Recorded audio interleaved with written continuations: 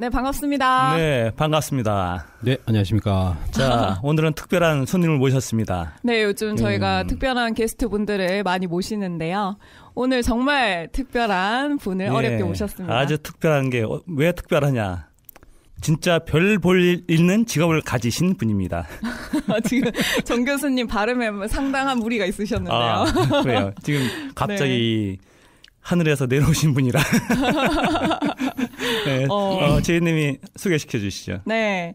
어, 오늘 이제 모신 분은 이 땅 위에서 살아가시면서 하늘에 마음을 두셨던 그리고 하늘에서 길을 찾으신 박석재 개천 박사님을 모셨습니다. 반갑습니다. 반갑습니다. 반갑습니다. 와. 오늘 멘트 준비 많이 하셨네요. 이 멘트만 준비했습니다. 자, 박사님, 개천 박사님. 아, 뭔가 이게, 원래는 이제 블랙홀 박사님으로 불려진다고 들었는데요. 개천 박사님, 오늘 좀 이렇게 바꿔본다고 말씀하셨는데, 마음에 드시는지요? 제 원래, 제, 제 계획이, 글쎄 제가 얼마나 오래 살지는 모르겠습니다만, 인생 전반전은 블랙홀 박사로 살고, 음. 후반전은 개천 박사로 살까 싶습니다. 어, 어, 그 영광스러운 후반전을 이제 역사의다와 함께 시작을 하시는 건가요? 아, 그, 그, 너무 많은 의미 부여를 하시는 거 아닌가 싶어요. 예. 아, 네, 근데 박석재 박사님 그래도 간단한 양력 저희가 소개를 드려야 될 것 같습니다. 어, 서울대학교 천문학과 졸업을 하셨고요. 미국 텍사스 대학교에서 블랙홀 천재 물리학 박사학위를 천체 받으셨습니다. 물리학. 예, 죄송합니다. 네. 천체 물리학으로 박사학위를 받으셨고요. 그리고 이제 천문학의 대중화를 꿈꾸시면서 어, 다양한 저술 활동을 펼치셨습니다. 그래서 다양한 저서들이 나와 있고 또 2005년에서 2011년까지는 한국천문연구원 원장도 역임을 하셨습니다. 다양한 활동을 펼치셨는데요. 어, 박사님 저술 활동하신 저서들 중에서 음. 진짜 애착이 가시는 책이 있다면 뭘 손꼽을 수 있을까요? 아무래도 제일 많이 팔린 책이 제일 애착이 있겠죠. 네, 제가 네. 그 그래도 자랑스럽게 생각하는 책이 블랙홀이 불쑥불쑥이라는 책이 있어요. 아, 네, 네. 그게 원래 그 어 그 뭐 수학이 수군수군 뭐 물리가 물렁물렁해 이런 식으로 그 외국에서 잘 나가는 그 과학책 시리즈를 번역한 건데 그 과학 쪽에서는 한국 저자는 저밖에 없어요. 그래서 그 블랙홀이 불쑥불쑥이라는 책이 어 상당히 많이 나갔습니다. 그래서 음. 그 덕분에 이제 블랙홀 박사라는 별명도 더 이제 확실해졌죠. 음. 그 외에도 되게 다양한 저서들이 있는데요. 해와 달과 별이 뜨고 지는 원리, 그리고 아인슈타인과 호킹의 블랙홀, 뭐 하늘의 길을 묻다, 어, 등등 많은데 이 중에서도 또 소설이 눈에 띄어요. 예, 그러니까 네. 이제 제가 초기에는 이제 과학책을 많이 썼어요. 근데 책을 많이 쓴 동기도 제가 원래 책을 쓰고 그런 걸 좋아하고 그런 그런 게 아니라 제가 어렸을 때부터 이렇게 천문학을 하기로 결심을 했는데 우리가 어렸을 땐 책이 없었어요. 아. 책이 없어서 항상 나중에 이제 공부할 때마다 아, 내가 뭐 중학교 때, 뭐 내가 고등학교 때 이런 책이 있어서 얼마나 좋았을까, 이런, 그런 생각이 자꾸 나더라고요. 그래서 그 나는 저, 그, 그 올챙이적 시절을 잘 기억하는 개구리예요. 그래서, 그래서 자꾸 그 나이에 맞춰서 이렇게 책을 쓰다 보니까 초창기에는 천문학 책이 많이 나왔어요. 근데 이제 제가 천문대장을 하면서 이제 점점 이제 우리 것에 점점 관심을 갖게 됐어요. 아, 저도 저 아인슈타인이 전부인 줄 알았죠. 그냥 미국의 뭐 천체 물리학이 단 줄 알았죠. 그러니까 근데 천문학의 그 맥스웰 방정식이나 그 슈레딩거 방정식이 이런 게 다가 아니더라고요. 그래서 어 이제 우리 것을 알게 되면서부터 이제 많은 걸 깨닫게 됐어요. 그래서 이제 제가 천문학자로서 할 수 있는 가장 중요한 일은 이제 커다란 망원경 같은 거 만드는 건데 제가 어쨌든 뭐 옛날 우리나라 천문학 그 종주국의 체면은 제가 세웠다고 보거든요. 왜냐하면 음. 이제 제가 25m 망원경 사업을 어쨌든 출범시키고 물러났으니까. 그래서 이제 뭐 중요한 일은 다 한 줄 알았더니 어, 더 중요한 일이 있더라고요. 더 중요한 일이. 그게 이제 천문학을 이용해서 역사를 바로잡는 일. 어, 제가 최근에는 그런 일에 이제 더 관심을 갖게 됐어요. 그래서 최근에는 이제 특히 개천, 개천이라는 그 우리 민족의 그 자산을 되살리는 일, 거기 굉장히 그, 그 관심을 갖게 됐습니다. 그 우리가 개천절이란 국경일이 있는 나라에서 사실 국민들은 개천이라는 것에 대해서 전혀 관심도 없어요. 어, 그래서 저는 하여튼 우리 국민들한테 어떻게 하면 개천을 뿌리낼 수 있을까. 어, 그걸 위해서 항상 그 생각만 하고 살다 보니까 아, 노래를 만들어야 되겠다. 뭐 소설을 써야 되겠다. 계속 그 생각이 그리 가더라고요. 그래서 예. 제가 그래서 개천가라 노래도 만들고 그 개천기라는 시리즈로 그 소설도 쓰고 있어요. 네. 사실 오늘 녹음 개천혁명, 어, 네. 박사님의 이제 저서죠. 개천혁명을 중심으로 녹음이 진행될 예정인데, 어, 이 소설 개천기를 어떻게 쓰게 되셨는가, 이 시리즈를 어떻게 구성하게 되셨는가도 이 속에 나와 있더라고요. 예. 그래서 이제 봤었는데, 박사님이 아주 오래 전부터 정말 좋아하셨던 영화 스타워즈가 등장을 하던데, 예. 예. 사실 저도 스타워즈 강팬입니다. 예. 예, 저는 과학도니까 네. 아무래도 이제 기본적으로 어, 스타워즈를 좋아하고 네. 그다음에 또 이제 셜록 홈즈 팬이기도 해요. 아, 네네. 그래서 제가 이제 원래 스타워즈가 아마 제가 대학교 3학년 때인가 그게 제가 처음 봤을 거예요. 음. 미국에서 아마 77년도에 나왔을 건데 우리나라에는 78년도인가 들어왔을 거예요. 그걸 보고서 난 잠을 못 잤어요. 아, 저도요. 예, 왜냐면 그때는 뭐 지금도 그렇지만 하지 않으시죠? 아니, 제가 처음 봤을 때요. 네네. 지금도 그렇지만 그 우리나라는 하나 정말 답답한 게 맨날 글쎄 이거 이렇게 표현하면 어떨지 모르겠지만 맨날 연산군 장희빈이에요. 아, 맞아요. 이게 한마디로 예. 저대로 표현하라면 심지어 세종대왕하고 이순신 장군도 질려 이제는 네. 아무도 단군조선이나 우리 환웅 배달 드라마를 만들 생각을 안 해요. 그러니까 그런 것도 이제 굉장히 답답했죠. 그 다음에 SF는 당연히 없고요. 우리나라는 어느 정도 심각하냐면 백인 어린이가 UFO를 봐야지 우리나라 어린이 어린이가 UFO를 보고 외계인을 만나면 우리가 봐도 이상해. 그 정도로 우리가 바보가 돼 예, 있어요. 맞습니다. 네, 근데 그런 네. 상황인데 그때 스타워즈를 보고서 아 영화를 이렇게 만들 수도 있구나 그런 생각을 했고 더군다나 이제 그 다음에 이제 제 머리에 각인된 게 이제 스타워즈 2 이렇게 다- 당시는 2였어요. 예, 그래서 2 이제 Empire Strikes Back. 그 다음에 스타워즈 3 이제 뭐 Return of the Jedi 이게 아, 주 그냥 맞습니다. 예, 그 세 개가 어, 아, 그, 그 향후 그 몇 년 동안 제 머리에 박힌 거예요. 그 제가 그걸 흉내내서 제가 제일 먼저 낸 책을 개천기 그냥 스타워즈식으로 그냥 개천기. 그다음에 이제 두 번째 책은 Empire Strikes Back 자리에 태호복희 그다음 스타워즈 2 자리에 개천기 2. 그러니까 태호복희 개천기 2. 그다음에 치우천자 개천기 3 이렇게 나오게 된 거예요. 아. 근데 요즘 젊은이들은 이제 그 모를 거예요. 아마 그 나중에 루카스 감독이 다시 스타워즈 세개를 추가하면서 그걸 에피소드 1, 2, 3로 하는 바람에 앞에 세 개가 이제 4, 5, 6이 된 거예요. 에피소드. 광팬이라면 예, 예. 알죠. 4, 5, 6, 예, 1, 예. 2, 3. 음. 네. 그래서 이제 저는 제목은 그렇게 짓게 됐고 그다음 제가 또 셜록 홈즈도 좋아해요. 어, 저는 바스커빌의 사냥개 그게 제일 재밌는 것 같아. 그 음. Houn, Hound of 그 뭐 그거요. 근데 그래서 항상 이, 이 주인공은 그러니까 셜록 홈즈가 있고 와트슨이 있어요. 그래서 홈즈는 책 제목이에요. 그러니까 테오 보키, 치우천자, 그러니까 훌륭한 사람들.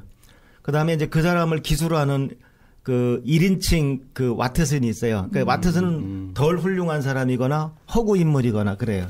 그래서 저는 어, 나름대로 스타워즈하고 그 셜록 홈즈의 그 룰을 두 개를 지키고 있어요. 이 소설에서. 아, 그러니까 이제 뭐 보통 대작의 그런 구성 요소는 3부작이라고 하더라고요. 그렇죠. 네, 뭐 음. 반지의 제왕이라든지 그리고 뭐 네. 스타워즈라든지 그래서 그런 면에서도 또 그런 어, 구성을 또 취하신 면들. 아, 그게 절묘한 게 네. 어차피 우리나라 국통맥을 세우려면은 이제 그 배달, 어, 조선, 그다음 북부여 이, 이, 그러니까 개천이라는 이름으로 개천은 요새 고구려 백자 시- 신라를 얘기하는 건 아니잖아요. 그러니까 우리 태초 여명계를 말해야 되니까 북부여가 전 한계라고 봐요.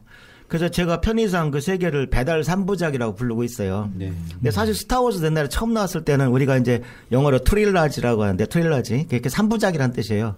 그런 게 굉장히 제 가슴에 들어와 있었던 것 같아요. 아. 근데 이제 그 세 개를 쓰고 나니까 그다음에 단군 조선이 이제 또 아까운 거예요. 써야죠. 예, 그러니까 단군 조선도 그런데 단군 조선은 네. 그러니까 이- 이게 아니 보세요 아주 자연스러워요. 그러니까 조금 역사를 아는 분들은 더 재미있게 들릴 것 같은데 그 배달 삼부작은 어차피 하나는 그냥 인트로고 그냥 소개하는 거고 나머지 어차피 배달의 영웅이 두 분이 태호복희하고 치우천자잖아요. 한 분은 음양오행 우주를 만든 분이고 나머지 치우는 뭐 꼭 제 책이 아니어도 또 원래 소설도 많이 읽고 할 정도로 우리 붉은 악마니까 그- 네네. 많이 있잖아요. 근데 단군조선은 제가 어떻게 삼부작을 쓸까 고민했는데 역사도 혈이 있는 것 같아요. 마디가 있는 것 같아. 그래서 네네. 가만히 보니까 이 절묘한 게 뭐 왕검 단군은 뭐 이제 일단 포함시켜 놓고 그다음 단군 조선에서 어느 분 둘을 추가할까고 음. 고민하는데 아 그게 환단곡이 연표를 가만히 보니까 금방 떠오르는 게 음. 이게 절묘해요. 한번 얘기 들어보세요. 하나라가 망할 때 그 멍청한 그 거랑이라는 놈이 나타나서 주지웅님을 하잖아요. 그래서 네. 이제 상탕이 상나라 탕왕이 하나라를 멸망시키잖아요. 그 시기에 유의자라는 그 단곤조선 최고의 그 선인이 계시더라고요. 근데 그 선인이 계신데 그때가 또 우리가 이따 잠깐 얘기할 오성치루가 일어났을 때예요. 그 맞습니다. 시기가. 예. 그러니까 아주 이게 절묘한 거야. 이야기, 이야기를 엮기가. 그러니까 우리가 단군 조선이 그 상나라의 그 상나라가 문 열을 그 하나라가 막을 내리고 상나라가 들어서는 거를 그걸 목격하는 그 그것까지 엮어서 그 마디에서 쓸 수가 있고 음. 또그 다음 마디는 뭐가 재밌냐면 이 상나라가 역시 또 하나라 걸왕 같은 놈이 또 또 나타나요 주왕이라고 그 놈이 또 역시 주지웅님을 해서 망할 때 그 다음에 이제 주나라 문왕 무왕 주공이 들어서면서 주역도 엮이고 다 그래요. 근데 거기에 우리 동이족 책사 강태공이 있잖아. 아, 그래서. 강태공 얘기를 하면은 거기서 주역까지 그러니까 우리 동양의 그 우주까지 자연스럽게 다 엮을 수가 있어요.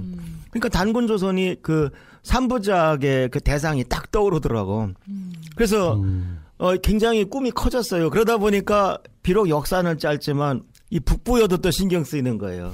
왜냐하면 국민 대다수가 해모수의 아들이 고주몽이라고 알고 있는데 그다음에 그다음에 북부여란 이름도 모르는 사람이 대부분일 텐데 근데 우리나라 역사를 개천이라는 이름으로 거기까지는 좀 밝혀야 되겠다. 이제 그런 원대한 그 중장기 계획이 되더라고요. 어.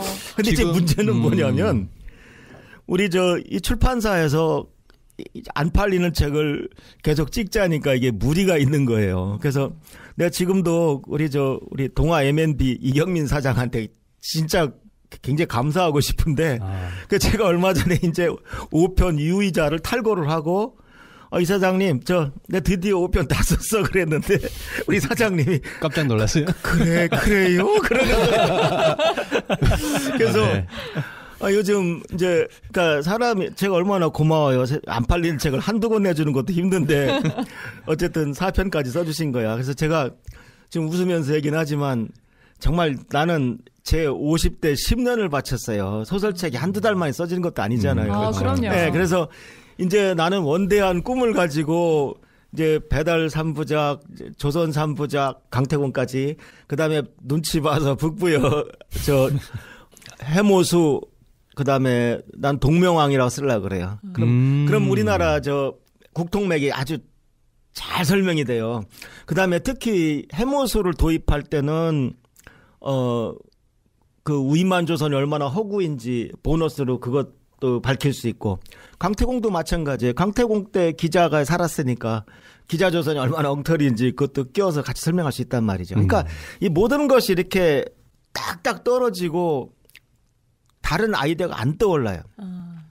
그래서 저는 얼마나 꿈이 크냐면 제가 오늘 이 자리에서 처음 밝힙니다. 예. 어, 네, 감동입니다. 뭘 밝히냐면은 나는 우리나라가 독립기념관은 있는데, 그러니까 70년 전에 다른 나라에서 독립한 그 기념관은 거대하게 있는데, 이 만년, 오- 반만년 역사의 그 여명기를 밝히는 거대한 기념관 하나 없다는 게 난 굉장히 수치스러워요. 음. 근데 가만히 생각해 보면 그 우리가 어떤 개천 기념관이다 그런 거를 예를 들어서 천안의 독립기념관처럼 이제 짓는다고 합시다. 뭘 채울 거냐 이게 결국 콘텐츠거든요. 음. 근데 제가 아까 얘기한 그 여덟 분 음. 자, 그러니까 처음부터 그러니까 제일 가운데 건물을 개천관이라고 하고 그 다음에 이제 태호복희, 치우천자, 왕검단군, 유의자, 그 다음에 강태공, 그 다음에 해모수, 그 다음에 어 동명왕까지 그걸 딱 이렇게 부채처 부채꼴로 배열을 하는 거죠. 예를 들면 음. 그래서 어 그래서 정말 외국인들이 와서 맨저 먹고 뭐 저 이런 것만 보고 가는 게 아니라 아 이 나라가 현재 영토는 작지만 무서운 나라구나. 나는 그런 걸 실감할 수 있는 그, 그니까 처음에 단순히 소설 세 개를 쓰기 시작했던 그 꿈이 이게 한 10년 지나면서 점점 점점 이제 굉장히 큰 계획을 갖게 된 거예요. 아, 그래서 요즘은 아 좀 살아보니까 저도 금방 60대고 뭘 정말 인생이 짧은 것 같더라고요. 그래서 제가 저는 저 그래서 제가 죽기 전까지 적어도 한 세 가지 중에 개천 기념관은 난꼭 됐으면 좋겠고 음. 두 번째는 우리나라 좀 개천 축제를 국가적으로 부활할 수는 없는가. 늘 만년을 내려온 천재가 어떻게 없어질 수가 있어요. 그다음 그다음에 개천 연호를 한번 복원할 수는 없을까. 그런 그런 굵은 일한세세 가지를 성사시키기 위해서 그냥 여생을 바칠까. 그 소설 쓰다 보니까 거기까지 갔어요. 음. 어, 그러니까요. 좋은 진짜. 지적이십니다. 네. 인생 후반을 개천 박사로 살고 싶다고 하신 말씀이 이제 확 와닿는데요, 진짜. 일단은 이제 천문학 쪽으로 전문 분야를 가지고 계셨는데 또 역사 분야 쪽으로 활동 영역을 넓히셨고 또 활동 스펙트럼을 엄청 지금 많이 넓히신 것 같아요. 그래서 소설뿐만이 아니라 또 노래, 개천가도 사실은 저희가 이제 듣고 지난 개천절 날 역사에다 에피소드를 했었습니다. 그 개천절 이게 실화다 이런 주제로 녹음을 했었는데 그 속에 개천가를 담았었어요. 아유 감사합니다. 네. 예. 그 너무 이제 흥이 나고 진짜 어, 이 풍류 문화가 느껴지는 흥이 나는 노래여서 저희가 소개도 하고 에피소드에 담았었는데 그 개천가 노래를 실제로 작사 작곡을 다 하신 건가요, 박사님이? 예, 그러니까 사람들이 그러니까 제 외모를 보고 그 생각을 전혀 못 하시는 것 같은데 제가 할 줄 아는 게 그래도 몇 가지가 있어요. 음. 난 어렸을 때부터 노래를 들으면 개명은 그 자리에서 알고 아, 어. 뭐 지금도 오. 뭐 기타 코드까지도 다 달 수 있어요. 그러니까 노래를 들으면 아. 기타 코드도 기본 3화만 갖고 다- 반주를 다룰까 아니면 한 여섯 개 동원해서 더 정교하게 다룰까 그것까지 그 자리에서 일, 저 10초 안에 할 수 있어요. 오. 어. 아니, 그러니까 배우시, 이건, 예. 배우셔서 학습된 능력. 아니 모르겠어요. 저는 그래서 그 국민학교 때 그러니까 초등학교 때 요새 말로 아. 수업 시간에 이제 음악 선생님이 그 개명을 외우게 하려고 개명창을 하잖아요. 근데 그때 기억나는 노래가 희고 노란 꽃나비 뭐 봄바람 타고 그런 노래였어요. 근데 선생님이 이제 그 개명창을 하시는데 제가 진짜 아무 생각 없이 선생님 그걸 뭐하러 개명창을 따로 노래 불러요. 그러니까 선생님이 오해하신 거예요. 왜그그 질문을 왜 하냐 그래서 아 나는 들으면 아는데 왜 예를 들어서 희고 노란 꽃나비 봄바람 타고 하면은 저는 그냥 들으면 어, 솔미라 솔미레도 레미파미레솔 금방 나와요. 오. 근데 알람을 알람이 울려도 어 솔 미도라 솔 파 솔 파 레미 금방 알아요. 어. 근데 그 물어보니까 선생님이 잘난 척하지마 녀석으로 한대 딱 때리시는 거야. 근데 전 지금도 다른 사람은 왜 못하는지 난 몰라요, 그거는. 어. 그래서 가만히 보니까 주위 사람들이 못하더라고. 심지어 음대 다닌 친구도 못하더라고. 그래서 어, 내 음악은 좀 타고났구나 그런 생각을 하고 있고요. 그다음에 저는 뭐 다른 건 할 줄 모르고 어, 기타는 뭐 잘 치진 않는데 오래 쳤어요. 그냥 어, 뭐 유학 가서 이렇게 이렇게 그럴 때 굉장히 마음이 흔들리고 그 다음에 가끔은 그 같이 사는 우리 아내한테도 뭐 약한 모습 보이기 싫고 그럴 때는 그래도 그 뭐야 기타라도 치고 그러면 마음이 우연이 되고 그 음. 좋잖아요. 그래서 음악을 좋아하다 보니까 어, 나름대로 이제 그 그래서 원래 그 노래는 제가 천상열차 분야 지도를 호- 그 홍보하려고 만든 노래였어요. 아. 예, 그런데 사람들이 다 곡이 좋다고 그래서 저는 더 거기 약간 개사를 해서 음. 그더 저 더 중요한 노래로 만들었죠. 그래서 저는 음. 네, 개천가라고 감 이름을 붙였죠. 뭐 그렇다고 해서 다른 분들이 개천가를 만들지 말라는 뜻도 아니고 다만 어떻게 개천절이 있는 나라에서 어떻게 개천가란 노래가 없고 개천기란 소설이 없습니까? 그 개천기란 소설도 개천지도 있잖아요. 아, 그 좋은 이름의 소설들이 없어. 그래서 두 개가 놓고 행복한 고민을 했어요. 얼른 어느 걸 이름을 짓까. 근데 가만히 생각해 보니까 개천지 그러니까 개가 천지다 뭐 개판이다 그런 것 같아. 그래서 일단 아, 예, 그래서 난 개천기를 골랐어요. 아, 개천기가 그- 그렇게, 예. 예. 그래서 다른 분들이 또 개천지 쓰겠죠. 예. 그리고 아까도 말씀드렸지만 치우는 그래도 소설도 많고 그런데 제가 왜 태오 복희라는 제목의 그 미련을 가졌냐면 복희가 우리나라 사람이 아니면 당장 태극기가 우리가 외국 외국게 되는데 그게 나랍니까? 그게 민족이냐고. 예. 그래서 복희만큼은 어 정말 꼭 우리나라 사람으로 만들어야 한다. 뭐 사실 그렇고요. 그죠? 예. 아시다시피 중국의 복희 묘소는 네 군데나 있지만 지자체가 자기네 게 진짜라고 뭐 싸움들하고 있지만 출생지는 없잖아요. 예. 가만히 생각해 보니까 우리나라에 태호복희라는 책이 없더라고요. 검열해봐도 없더라고. 음. 그 제가 태호 저도 못본것 복희라는 같아요. 책을 예. 어, 어떻게 복희가 우리 동이족이면 대한민국에 태호 복희라는 책이 없습니까? 친절한 복희 씨? 네. 뭐 그런 거 있는 것 같은데. 아 그런 게 있어요? 네. 어, 그래서 어쨌든 그 드라마인가? 대부분 사람들이 복희가 점쟁인 줄 알더라고요. 복자가 들어가니까. 아. 예. 그래서 제가 그건 서둘러 썼고 치우는 이제 책 제목이 같으면 또 문제가 될 소지도 있지만 어 천자는 어떻게 보면 천왕보다 하나 더 위거든요. 예, 그래서 저는 치우 천자를 고집해요. 그래서 음. 어, 물론 대부분 치우 천왕이라고 하고 뭐 사실 환웅이라고 하면 치우 자오지 환웅이라고 하면 되는 것이죠. 그런데 그래도 공식적으로 실제로 사마천 사기 주석에서 어, 제일 먼저 천자로 이- 거론된 사람이 마- 또 치우고 네, 맞습니다. 어, 네, 그러니까 난 책 제목을 치우 천자를 고집했고 그다음에 단검 단검 왕군도 재밌어요. 저는 왕검 단군이라고 그랬는데 우리가 사실 세종 대왕이 대왕 세종보다 더 친숙하잖아요. 그러니까 그렇죠. 어떻게 보면 세종 대왕 그러니까 어, 이름이 앞에 가고 직함이 뒤에 가는 게 임금님 경우는 더 편해요.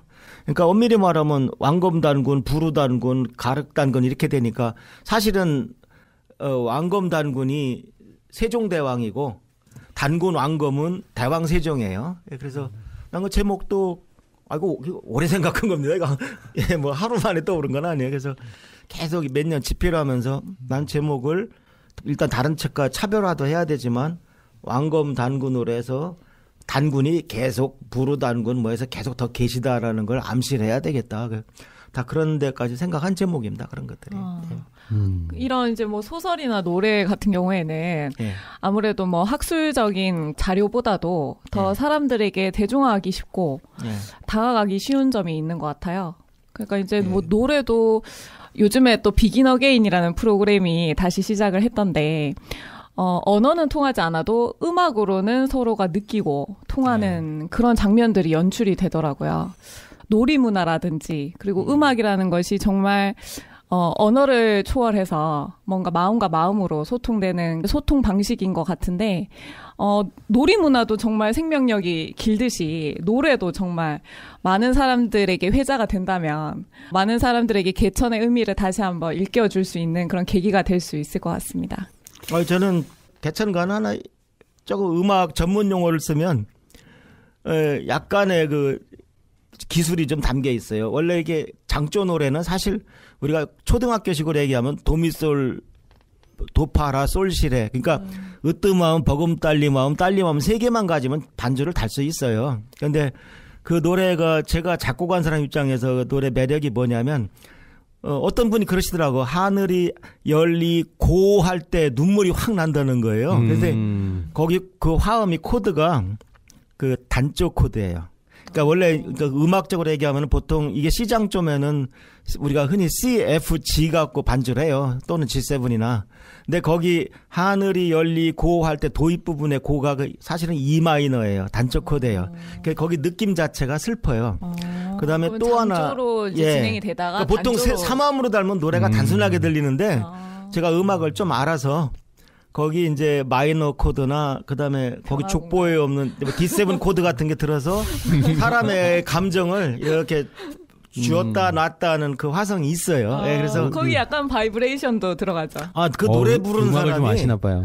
우리 노래 부르는 사람이 정말 잘것 부릅니다. 그 친구가 이제 우리 우리 밴드 제가 옛날에 했던 밴드 우리 아, 음악 싱어인데 시원시원하고 좋더라고요. 어, 그 네, 신종. 신종철이라는 우리 또 동네 후배인데 예, 아. 저, 저보다 네살 아, 노래 어려요. 부르신 분이요. 아 근데 이, 이, 이 아. 친구가 가수시죠? 이 아니요. 음. 대학 가요제만 나가면 2등을 해갖고 1등만 가수가 되거든요. 아, 그 2등을 세 번인가 했대요. 음. 그래서 가수 꿈은 못 이뤘는데 음. 정말 노래를 잘해요. 이 개천가란 노래가 이게 아, 이게 아무나 부를 수 있는 노래가 아니에요. 그그 맛이 안 나오는데 음. 제가 그래서 이제 우리 그 신종철 그 씨를 우리 싱어를 제가 어떤 행사만 있으면 내가 끌고 가서 저 오신 분들한테 좀 라이브로 들려주고 아, 싶은 라이브로. 생각이 좀 있어요. 오. 예. 저희도 역사 강의나 이런 거 할 때 꼭 그 처음에 시작하기 전에 있잖아요. 이제 손님 손님이 아니고 이렇게 관객들이 딱 들어오면은 그때 딱 틀어놔요 개천가를. 그러면 이제 반응이 좋고 그다음에 이제 강의 바로 시작하면은 분위기가 이제 좋아지거든요. 한 번씩 듣고 또 중간이나 아니면 뭐 끝날 때도 한 번씩 틀고. 음, 그리고 제가 그 노래 만들면서 제일 역점을 둔 게 저도 뭐 고등학교 때 많이 놀러 다니지는 않았는데 이 캠프나 이런 것이 굉장히 추억이 참 좋더라고요.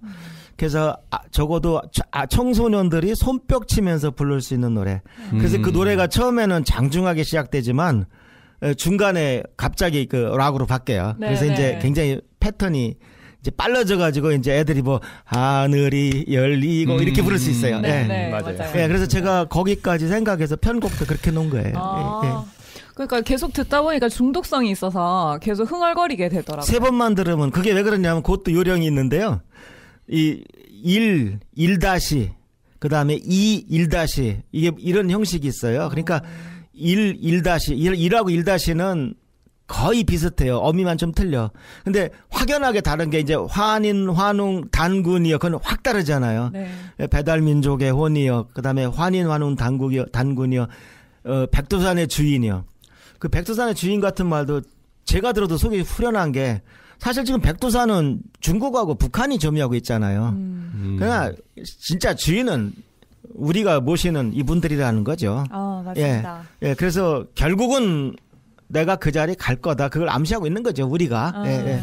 맨날 우리가 보통 애국 노래 그러면 뭐 이선희 씨 아름다운 강산이나 이제 뭐 그 정도 나오는데 뭐 제가 그런 노래가 나쁘다는 게 아니라 조금 더 깊이도 있는 그 뭐 예를 들어서 다른 나라도 하늘은 파랗고 뭐 구름은 하얗지 이게 뭐 뭔가 뭐 좀더뭐 메시지가 뭔가 있는. 더 예, 네. 저 깊이도 있고 네. 뭔가 차별화할 수 있는 그래서 저도 그런 노래를 다시 만들 수 없을 것 같아요. 아, 예, 그래서 정말 그거는 제가 음. 하늘이 저한테 그 곡과 가사를 주셨다고 생각해요. 네. 영감이 없으면 절대 만들어질 수 없는 게 노래라고 하더라고요. 저도 이제 그 노래를 들으면서 처음에 감성적으로 쫙 빨려 들어가면서 그다음 그 가사가 또 이 우리 역사의 정신을 그냥 그 핵심 그 역사 정신이라든가 이 문화 정신을 그대로 드러내면서 또 중간에 방금 말씀하신 것처럼 이게 점점점 이제 박자가 좀 더 이게 이 흥겨워지면서 우리 민족에 대한 힘을 느끼게끔 하는 이제 그런 게 쫙 들어오더라고요. 아이고 정 교수님 감사합니다.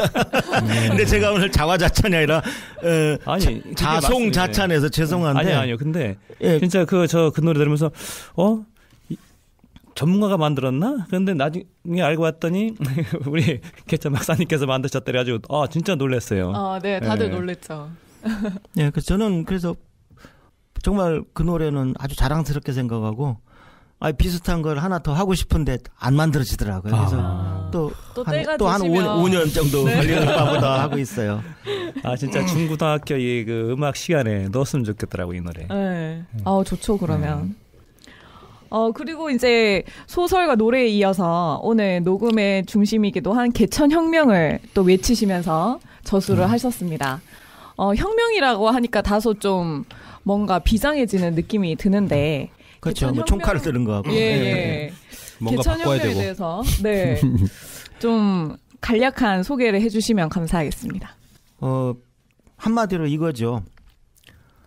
지금 배달이라는 말이 잊혀졌어요. 그러니까 우리나라 청소년들이 우리나라가 왜 배달의 나라냐, 우리가 왜 배달의 민족이냐 물어보면 뭐 음식 배달 택배가 빨리 오니까 어, 정말입니다. 제가 예. 물어봤어요 맞습니다. 일부러. 네, 예. 이제 완전히 속화돼. 세 명한테 물어봤는데 100%예요. 저 응답률 100%저 배달 그 다음에 이제 뭐 배달의 민족이랑 기업 얘기도 하더라고요. 근데 저는 그 기업이나 가서 이거 기업 얘기 해도 되, 됩니다. 상관없죠. 네, 예, 아, 편집하세요. 예. 아, 요거까지 안 하는 거 아니었다. 아니, 네. 예, 아니 다시 할게요. 다시. 할게요. 예. 아, 네. 이건 하세요. 이거는. 예. 네. 그 저는 뭐 그 배달 상호가 들어가는 기업도 많이 있는데 저는 그 기업들 원망하지 않습니다. 오히려 그래도 배달이란 말은 살려줘서 그나마 고마워요. 어 근데 제가 그 혁명이라는 말을 안 꺼낼 수가 없는 게 이유가 이렇습니다. 우리가 흔히 나이 든 사람이 혁명 얘기해도 참 그렇고 젊은 사람이 혁명을 얘기 안 해도 좀 그렇다 뭐 이런 말이 있어요. 음. 근데 제가 왜 혁명이란 말을 쓰기로 결심을 했냐면 이 배달의 민족 국사책에 배달이란 나라가 안 나온다는 거죠. 그러니까 그나마 단군 조선도 한동안 있었다고 한다 하다가 그나마 이제 마지못해 이제 있었다 이렇게 들어간 정도인데 그 배달 앞 그 단군 조선 앞에 나라 환웅 배달은 국정이든 국정이 아니든 들어갈 리가 없다는 거죠. 근데 제가 가만 생각해 보니까 우리나라 국사책에 배달이라는 단어가 들어가려면 혁명에 가까운 변화 없이는 불가능할 것 같더라고요. 음. 그러니까 제가 얼마 전에 이제 제야 역사가 유명하신 이덕일 박사님하고 이제 둘이 소주를 왕창 먹었어요. 그래서 뭐 몇 시간을 같이 떠들었는데 다른 건 하나도 기억이 안 나고 요거 하나가 기억이 나요. 그래 이 박사 우리가 죽기 전까지 이거 바로 잡힐까? 난 안 될 것 같아. 그러니까 이덕일 소장이 아 원장님 됩니다. 한번 해봅시다. 그래. 아 그럴까요? 될까요? 네. 그게 기억나요. 음. 근데 그 이덕일 소장님은 정말 험한 험한 생활을 하셨죠. 뭐 법원에서만 3년 끌었으니까 대법원까지. 그, 그, 그런데 그런 분이 더 자신 있게 얘기하니까 오히려 제가 부끄럽더라고요.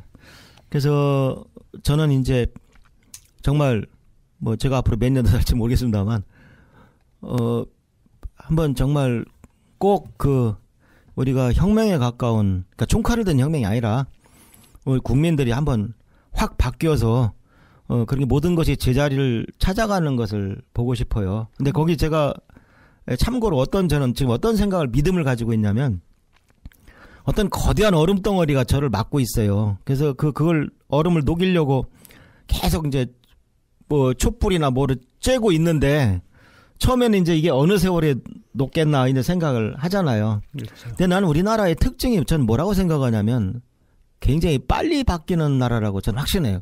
옛날에 어떤 미국 사람이 저한테 한국 특징이 한마디로 뭐냐 그래서 내가 어, rapidly changing country다. 아주 빨리 바뀐 나라다. 그래서 이 세대 차이도 심각하고 막 그렇다. 그런 얘기를 내가 내 입으로 얘기를 했어요. 가만히 생각해 보니까 우리나라는 동네 노래방 하나 잘 되면요. 노래방 두세 개 생기는데 한 달도 안 걸려요. 한, 그- 그래서, 그니까 뭐 자본이고 뭐고 그냥 투자할 곳을 찾아 돌아다니는 나라예요. 이 나라의 하나의 저력이, 국민의 저력이. 그래서 저는 얼음이 어느 순간은 계속 그 불을 쬐다 보면 와지끈하 그냥 내려올 거라고 나는 확신하고 있어요. 그게 제가 말하는 혁명입니다. 예. 혁명. 예. 음, 말씀을 들어보니까 예전에 그 백범 김구 선생께서도 어떤 무력이나 그런 부강한 나라가 되기를 바라는 것이 아니라 오직 갖고자 하는 것이 문화의 힘이다. 이런 말씀 하셨는데 총칼을 든 혁명이 아니라 진짜 문화의 힘으로 그 문화의 정신을 되살려서 어, 우리가 좀 사실은 어떤 장벽이 있다는 것을 인식하기 때문에 혁명이라는 단어를 쓰신 것 같아요. 그래서, 그렇죠. 예. 예, 처음에는 저한테 좌절감을 준 거죠. 음, 야, 내가 그렇게 나름대로 얘기하고 다니고 나름대로 책을 쓰고 그렇게 했는데도 아직도 국민의 뭐 절반이 단군 신화를 믿고 있다? 음, 도대체 어디까지 가야 되느냐? 내가 이 혁명의 길을 어디까지 가야 되느냐? 음. 근데 그런 데에서 어? 진짜 이육사님이 말한 광야에 내가 언제 도착하느냐? 이제 그런 좌절감이 항상 누른 것이죠. 음. 어, 그 장벽의 실체는 뭐 일제 시대 이후로 이어져 오고 있는 그런 식민사학의 프레임이라든지 그렇죠. 예. 예. 그, 그 다음에 이제 그걸 하다 보면은 개인적인 인신 공격이 많아요. 이제 소, 소위 뭐, 환빠니, 국뽕이니, 이제 그런 말을 각오해야 됩니다. 예. 근데 이제, 뭐, 그 저는, 저는 이렇게 생각해요. 이제 우리 국민들이 그 환빠란 말이, 아, 저, 무슨 환빠란 말이 얼마나 안 좋은 말입니까? 참, 저도, 저도 입에 담기도 싫은데, 누가 이제 그 이쪽 환단고기를 믿는 사람들을 공격하려고 만든 용어죠. 그래서 이제 이쪽 사람들도 그 식민지, 식민사학을 따른 사람들 우리도 식바라고 부르지 않습니까? 근데 저는 요새는 사람들한테 알아듣기 쉽게 얘기해요. 이렇게 얘기합니다. 언제까지 나는 역사에 관심이 없다, 역사를 모른다고 해피를 하시겠습니까? 결국 선생님은 식바나 환바 중에 하나를 고르셔야 됩니다. 그 중간은 없습니다. 제가 알기로. 그 다음에 제가 하나만 추가로 얘기하겠습니다. 환바들은 환단고기를 읽어본 사람들입니다. 읽어보고 이건 믿을 수가 있다고 생각하니까 믿는 사람들이고 대다수의 그 환단 고기를 믿지 않는 사람들은 읽어본 적도 없는 사람들입니다. 그러니까 읽어보지도 않고 우리나라 옛날 어떤 사람이 그냥 한풀이로 그냥 우리 민족이 옛날에 만년 전에 러시아만한 나라를 그냥 통치했다. 우리 민족이 다 해먹었다. 이런 판타지를 쓴 구라다. 이렇게들 알고 있는 겁니다. 굉장히 학식이 깊고 굉장히 다방면에 조심스러운 분들도 그렇게 얘기하면은 아주 그 힘이 다 빠져요. 그러니까 적어도 환빠들은 환단고기를 읽어보고 그걸 믿을 가치가 있다고 생각하는 사람들이고 그 환가들은 아, 참 입에 담기도 그러네요. 환가들은 읽어본 적도 없는 사람들입니다. 그래서 제가 어떻게 학자라는 사람들이 고 학자가 아니어도 그렇지 자기가 확신하지도 않는 일에 선동당해서 그렇게 말을 함부로 할 수가 있느냐. 당신 환단고기가 당신이 말하는 것처럼 그 구라면은 그게 무슨 뜻인지 아느냐. 그럼 태우복기는 중국 사람이 되고 치유 천자는 중국 도깨비가 되는데 그 말은 우리 붉은 악마가 중국 응원단이 되고 우리 태극기는 중국제가 된다는 뜻이다. 그 말 알고 하는 거냐. 그다음에 어떤 사람들은 읽어보지도 않고 아, 내 읽어봤다고 또 읽어봤는데 그게 음. 판타지들라고 주장하는 사람들이 있어요. 그럼 제가 살살 테스트를 해봅니다.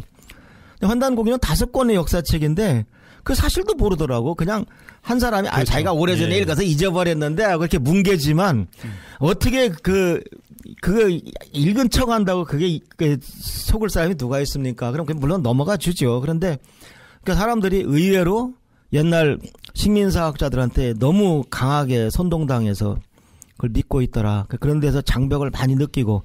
제 개천기 소설들은요.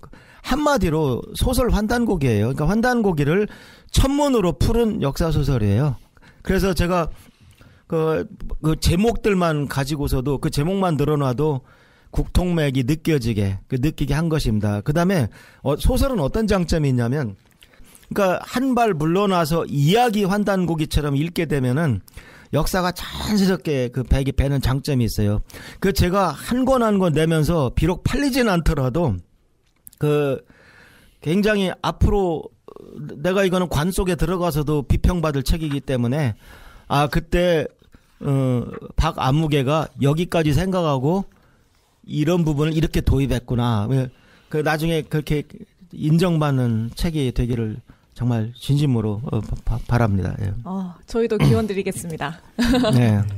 청소년들 필독서로 해가지고 네. 다 읽혀서 어쩔 수 없어요. 혁명하려면 잘하는 청소년들이 식민사학하고 과감하게 맞붙을 수 있는 그런 의식을 가지고 역사학을 해야 되거든요.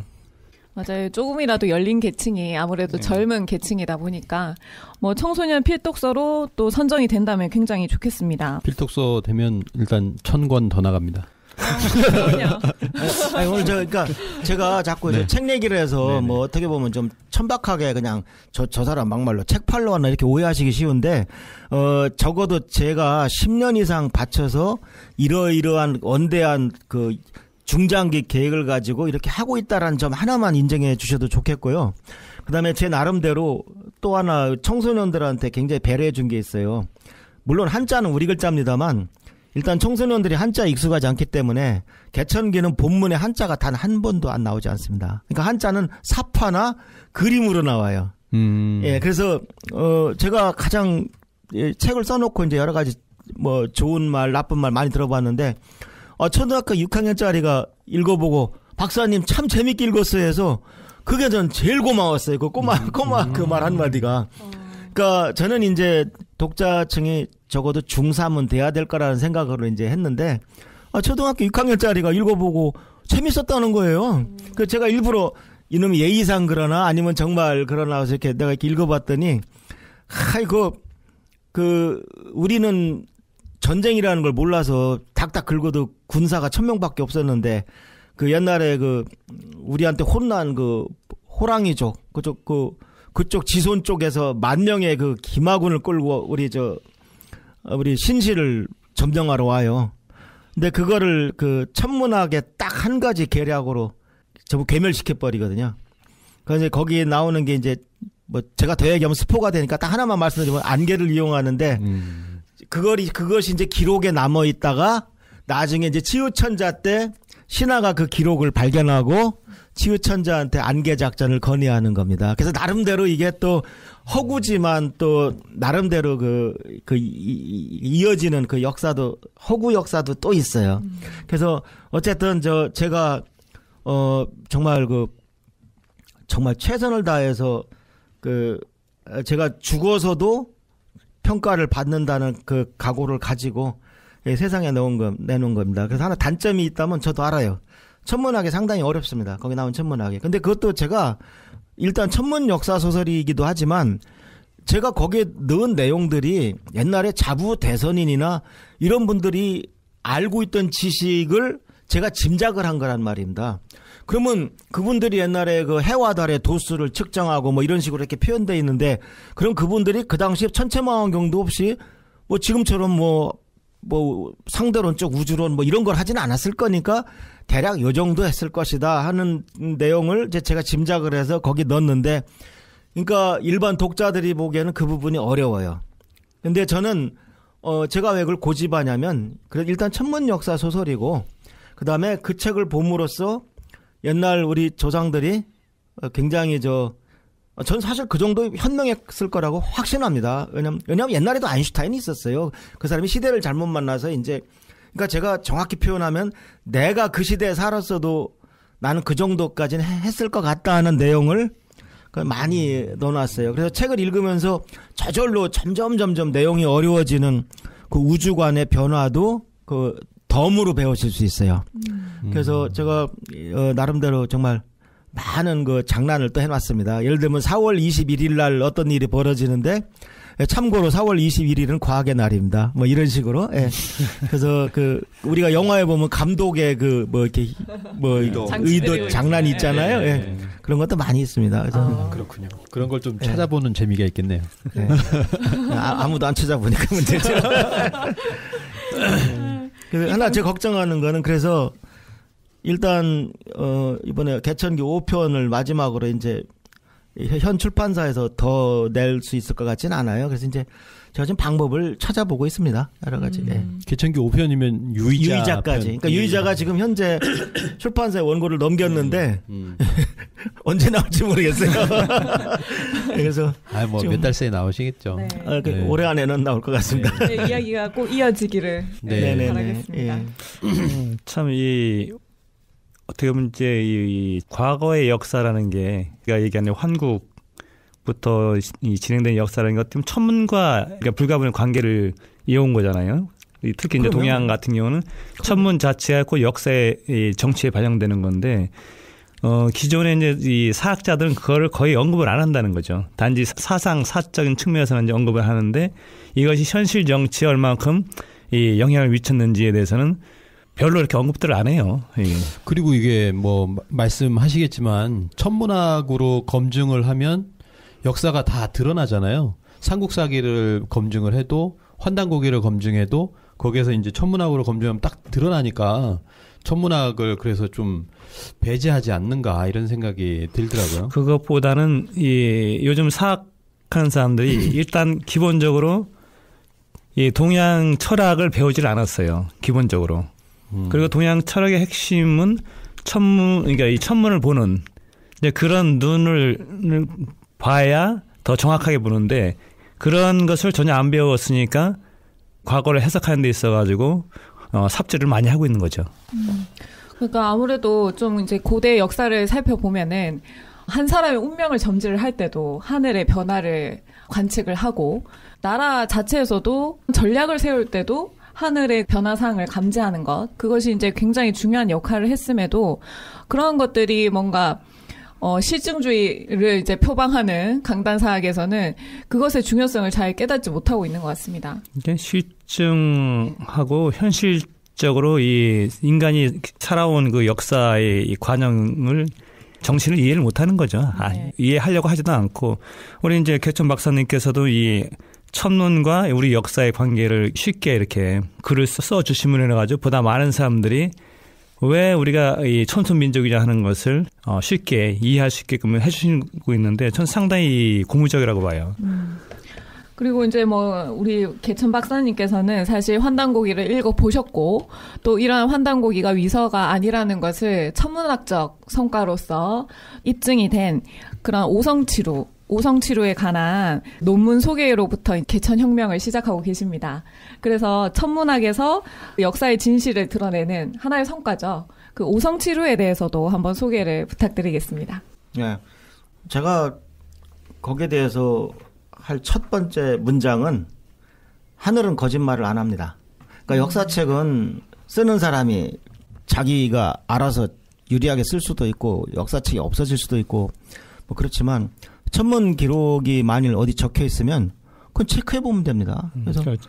예, 더더구나 그건 뭐 아니, 문방구에서 소프트웨어 하나만 사면 중학생도 할 수 있는데 그건 속일 수가 없어요. 그래서 자- 잘 아시다시피 저도 이제 벌써 이제 20년이 다 돼가네. 십몇 년 전만 해도 저도 환단 고기를 그렇게 저도 선동돼서 그다지 믿던 사람이 아니었습니다. 그런데 어, 저는 전적으로 내 라델 박사라는 내 후배 덕분에 나델 박사는 개인적으로 제 대전고등학교 후배기도 합니다. 그래서 아, 제가 서울대 천문학과 76학번이고 우리 라데일 박사가 77학번이었는데 그저 저를 많이 따르고 또 저, 저랑 친했어요. 음. 그래서 그 나델 박사가 옛날에 이제 미국에 어느 학회를 갔어요.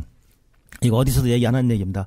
학회를 와싱턴 D.C.에서 이제 거기 어떤 호텔에서 미국 천문학회에 갔는데 제가 이제 호텔 방에서 이제 자려고 이제 TV 켜놓고 침대에 이렇게 기대고 앉아서 채널 돌리고 있었는데 형 자? 그러면서 왔더라고요. 어 들어와 들어와 그래갖고 이제 나델 박사가 내 침, 침대 끄트머리 모서리에 앉았어요. 이제 조금 얘기하다 가려고 이제 그런 자세로 앉았고 음. 저도 TV 끄고 그냥 곧 잘 자세로 앉아서 얘기를 했어요. 그 자세에서 아침 7시까지 그대로 같이 밤새 얘기했어요. 환단고기 얘기한 거예요. 아, 나 대리 아는 것도 많네. 근데 그 당시는 그게 몇 년도? 어 그게 그러니까 이 친구가 유펜에 다녔어요. 그 University Pennsylvania. 아. 거기서 영어로 된 책만 읽어서 그만큼 지식을 쌓았더라고. 그때 아마 제가 알기로 환단고기가 나온 지 얼마 안 됐을 안 됐을 거고 제가 그때 나 박사가 한국 책을 읽었다는 말은 분명히 한 적이 없어요. 음. 그 제가 그리고 너무 재밌어가지고 어 그냥 아침 7시까지 둘이 밤을 꼴딱 샌 거예요. 근데 근데 저도 한심하지. 이리 좀 올라와서 편히 앉아봐. 그 말을 안 하고 그 말 할 틈이 없었어요. 음. 그냥 그 친구는 이게- 모서리. 예, 예, 이건 정말 싫어합니다. 침대 모서리 앉고 나는 그 베개 몇 개 포개서 TV 보던 자세, 그 자세로 둘이 아침 7시 혼할 때까지 있었어요. 아, 그, 그 충격이 참 컸고, 그 다음에 나델 박사가 나중에 이제, 제, 제가 우리, 제가 근무하는 한국 천문연구원이 옛날에는 천문대였어요, 이름이. 결국 천문대에 들어왔어요. 그래서, 이제 들어왔는데, 이제 처음에 이제 부서도 다르고 해서, 뭐, 친하게 막, 막 자주 지내진 않았지만, 이 오성추류 얘기는 그때 했어요. 왜냐면 오성추류가 처음에 나온 게 1993년도입니다. 네. 그러니까 이미 어 그때는 이제 나델 박사 글 쓰고 해서 나는 이제 흥미롭게 듣고만 있었는데 아유 제가 왜 남이 써놓은 걸 왜 제가 홍보합니까? 그러니까 이제 그냥 가만히 이제 듣고 알고만 있었죠. 근데 이제 그 당시는 나델 박사도 우리 저 소장파지요. 우리 저 제일 쫄병 중에 하나니까 음. 그이 학계라는 데는 잘 아시다시피 뭐 누가 시켜서 그런 것이 아니라 예, 소장파는 아무래도 좀 예, 한계가 있어요. 더군다나 일반인들이 안 믿는 얘기를 하긴 참 어려운 세상입니다. 그래서 그냥 뭐 세월만 가길 기다렸던 거죠. 근데 비극이 뭐냐면 이제 나델 박사가 이제 대장암으로 바로 죽었어요. 그 음. 그래서 제가 한참 재밌는데 같이 얘기하고 했는데 그, 그, 우리 나 박사 돌아가시는 바람에. 근데 박창범 박사 이제 서울 쪽에 근무하고 박창범 박사는 제가 아주 친한 후배는 또 아니었어요. 그 다음에 그래서, 그래서 이 사람이 서울대전만 살아도 뭐 별로 이렇게 얘기할 기회가 없어요. 음. 예. 그 박창범 박사는 제가 아주 가까운 후배는 아니었는데 어쨌든 라델 박창범 그러니까 영어로는 라델 박창범 논문이 천문학회지에 나왔고 어 한글로는 나중에 보니까 박창범 라델 아. 박사가 이제 과학사학회 논문이 있어요. 그래서 어느 걸 인용하느냐에 따라서 이제 저자 순서가 바뀌더라고. 근데 저는 당연히 천문학회지를 인용하니까 항상 그 라델 박사가 앞에 나왔던 것이죠. 자연스럽게. 라델 박사가 77학번이고 박창범 79학번입니다. 79학번. 예, 예. 그래서 선배네. 예, 근데 제가 제가 한참 선배, 그러니까 3년 선배죠. 아, 그러니까 제가 76이니까. 예, 그래서 어 이제 박창원 박사는 근데 그 논문을 쓰고 나서 얼마나 시달렸나? 일체 얘기도 안 하고 나서지도 않고. 그러니까, 네, 네. 그러니까 환단고기의 천문 현상이 맞다는 걸 증명한 게 그게 무슨 죄입니까? 우리 우리 우리 선배 천문학자가 4천 년 전에 어, 수성, 금성, 화성, 목성, 토성이 해와 달 사이에 주르륵 한 줄로 섰다. 그 기록이 남아 있는데 컴퓨터 돌려보니까 맞더라. 그걸 증명한 게 그게 무슨 죄입니까? 얼마나 공격을 당했는지 그 아예 이쪽은 얘기도 않고 이제 그런 사실은 온 최근에. 그 박창범 박사님 강의하실 때 보니까 단군 세기의 천문 기록은 빼시고 이제 고인돌 별자리 그런 걸로 이제 좀 고대를 얘기를 하시고 그다음에 이제 삼국 얘기로 삼국만 하더라도 뭐 2000년 이상의 그 별자리 관측이 있는 역사가 중국하고 우리나, 우- 우리나라밖에 없다 이런 얘기도 하시더라고요. 예. 어 그러니까 상고사는 중국은 없고요. 네. 그 다음에 이제 조금 그 연명기가 지나고 나서부터는 이제 중국도 오성 그 결집 같은 게 나오기 시작을 해요. 그 제가 아- 아는 한, 어, 중국의 오성 결집 기록이 있는 건 아마, 아마 상나라 탕왕? 그 음. 탕왕이 나라 세울 때 아마 오성 현상이 아마 있었던 모양입니다. 근데, 근데 지금 아까 제가 얘기한 건 단군 조선일 뿐만 아니라 제가 나중에 제가 발견한 거는 저하고 이제 저 도와준 우리 황보승 아마추어 천문학자고 우리가 발견한 건 오송치루보다 700년 전 거예요. 그러니까 오송치루보다 700년 전 그 이전 거에 그 제가 그래서 개천혁명이라는 책에 자세히 써놨습니다. 거기 보시면은 어 전후 고향 시대. 네. 그러니까 중국에서는 전설의 시대라고 하는 사망 오제라는 시대가 있지 않습니까? 그 사망 오제 오제의 두 번째 그 두 번째 오제 그 사람이 전욱이거든요. 네. 그 시대 오행성이 모였다는 기록이 일월 오성 개합 제자라고 나와요. 천문유초에. 그러니까 세종대왕 때 이순지가 쓴 천문유초에 일월 오성 개합 제자. 해와 달과 오성이 수성금성 화성목성 토성이 자방에 모였다. 이 기록이 환 이거는 환단고기도 아니고 천문유초에 나와요. 천문유초에. 예. 네. 그것이 오성치료보다 700년 전 거예요. 음. 그래서 제가 그걸 황보승 선생이랑 버무려서 논문을 썼는데 한심한 거는 낼 데가 없어요. 그 천문학 쪽의 내잔이 좀 그렇고 역사 쪽은 실어줄 리가 없을 것 같고. 어, 근데 다행히 우리가 이제 환단학회가 출범해서 어, 환단학회지가 있으니까 이제 거기에 이제 냈죠. 뭐 그래서 그래서 작년 2017년 12월 어 환단학회지에 그러니까 오성치료처럼 이제 공식적으로 오성 개합이 어 이제는 공식적으로 실려 있습니다. 그러니까 앞으로 인용하셔도 됩니다. 아, 예. 연구 성과가 났음에도 불구하고 논문을 어디에 게재해야 될지를 고민해야 되는 상황도 벌어지는군요. 저뭐 음. 게재를 안 받아주니까 기존 그 그렇죠. 학계에서는 네. 네. 어떻게 보면 이게 우리 학계가 상당히 폐쇄적이고 지금 세계는 이제 융합으로 융합 학문으로 가고 있는데 우리는 오히려 더 자기 밥그릇만 고집하고 또 서로 간에 이제 싸우기 싫으니까 뭔가 좀 분쟁이 있을 것 같은 건 또 아예 그냥 거절을 해버리고 이제 그런 그 행태들을 가지고 있죠. 사실은 뭐 천문학으로 역사의 진실을 드러낸다는 것 자체가 지금 강단사학이 진정한 실증주의라면 굉장히 반겨야 되는 연구 성과거든요. 그렇죠. 그럼에도 불구하고 어 사실은 여쭤보고 싶었어요. 이런 논문이 발표됐을 때 실제 강단사학의 반응이 어땠는가 여쭤보고 싶었는데 뭐 안 여쭤봐도 지금 말씀하신 대로 박찬범 박사님도 사실은 너무 많이 시달리셔서 지금은 언급을 좀 피하시는 게 아닌가 이런 생각이 듭니다. 그 저도 저도 사람인지라 어, 옛날에 이제 제가 EBS에서 그 처음으로 오성 치료를 제가 이제 얘기한 것 같은데 어, 당시도 내가 PD한테 신신당부했습니다. 이, 이 부분 편집하지 마시오. 이게 그러니까 누군가는 얘기를 해야 됩니다. 근데 당사자는 아 제가 편한 게 하나 있어요. 이게 내 것이 아니기 때문에 음. 내가 칭찬을 해도 자화자찬이 아니니까 마음이 편하고 예. 뭐 막말로 속 보이는 같은 언행을 안 해도 되잖아요. 네. 예, 그다음에 일이 잘 되면 뭐 그 크레딧이 박창균 뭐, 뭐 박사한테 가지 저한테 오겠습니까? 그러니까 제가 제가 담백하게 마음을 비우고 한다는 거를 분명히 하니까 기분이 좋고 어. 그다음에 저는 뱃속이 편한 거죠. 사람은 뱃속이 편해야 됩니다. 그 표현이 좀 천박한지 모르지만 난 인생이 그 가끔 정치나 이런 데 휩쓸려서 그 그렇게 속 썩고 사는 사람들 보면 왜 이렇게 어리석나 싶어요. 그러니까 사람은 뱃속이 편하고 그다음에 곡하가세 하면 안 됩니다. 이건 맞습니다. 내가 옳다고 예. 생각하는데 아, 내 아내와 애들이 보고 있는데 내가 거짓말할 수는 없죠. 근데 그래서 제가 이제 공중파에서 처음으로 한단고기를 갖고 좀 논의 좀 해보자. 반대하는 사람은 왜 반대하는지, 믿는 사람 왜 믿는지 하면서 근데 우리 봐라 이게 이 천문 현상 여기 기술된 거 맞춰보면 이렇게 맞, 맞는다고 논문이 나와 있는데 왜 아무도 이런 얘기를 안 하냐. 그래서 제가 그 얘기를 하고 이제 그 다음부터 이제 비난의 화살이 이제 저한테도 오더라고요. 그런데 어 참 그때도 저도 아 이거 하면 골치 아픈데.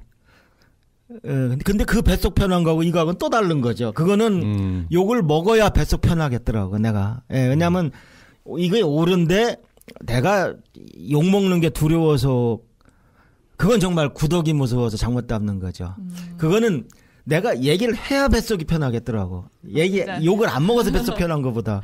혁명 전사의 느낌으로. 예, 그래서 저도 사실은 이렇게 이제 제가 뭐 기관장 나오고 하니까 사람들이 굉장히 뭐 활, 활발한 사람인 줄 알았는데 저도 사실은 굉장히 천성은 내성적인 사람입니다. 그래서 이렇게 이 혁명이나 이런 말을 원래 좀 싫어하는 사람이에요. 근데 이제는 나라가 안 바뀌니까 난 정말 우리나라가 좀 부끄러운 것 중에 하나가 예를 들어서 우리가 그 한심한 지역 감정 같은 거, 난 한 30년 지나면 희석될 줄 알았어요. 근데 이거 보니까 거의 뭐, 뭐 제가 지금 해가 막 지났는데 거의 제 일생 동안 한 40년 동안 그것이 안 없어졌고 점점 더 심해지는 것 같아요. 그 다음에 우리나라가 그 지역 감정만 있습니까? 지금 보면은 정치, 종교, 지연, 학연, 혈연, 빈부 뭐 이런 것 중에 한 두어 가지만 다르면 결코 속마음을 열 수 없는 이게 무슨 단일민족이고 아, 물론 단일민족이란 말 자체도 그 맞는 말이 아니지만 이게 무슨 한 민족이고 한 문화를 가진 그, 그거냐 싶더라고요. 그다음에 제일 무서운 거는 어떻게 국민의 정신적 저 국혼이 없냐, 정신적 공감대가 없냐. 차라리 국교라도 있으면 낫죠. 국교라도 있으면 제가 어디서 충격을 받았냐면 옛날에 20, 20살 아래인가요? 그, 그 국제 축구대회에서 우리가 이라크랑 승부차기라는데 그 이라크 선수들은 다 모여서 알라한테 기도하더라고요. 국교가 있으니까. 우리나라 애들은 이렇게 그 모여 둥글게 모여 있는데 그 무슨 얘기를 하겠습니까? 그 애들이 그 주장이라는 애가 무슨 얘기를 하겠습니까?